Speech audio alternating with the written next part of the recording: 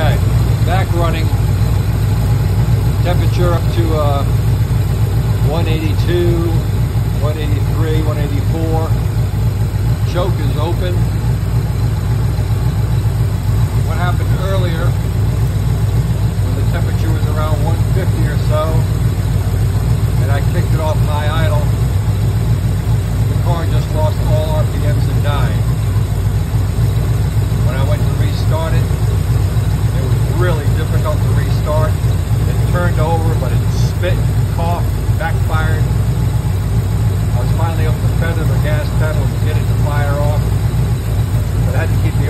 Up around 15, 16, 1700 RPM until it got to this temperature.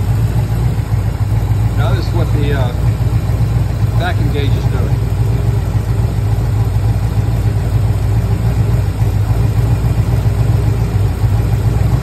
It's buzzing between uh, 13, 14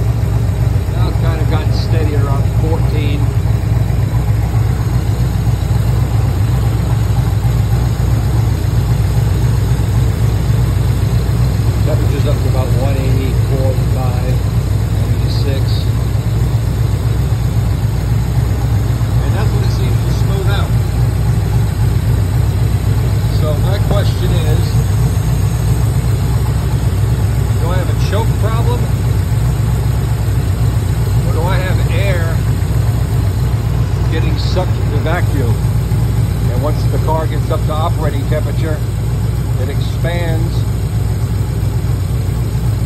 the metal and seals up the air sucking the vacuum.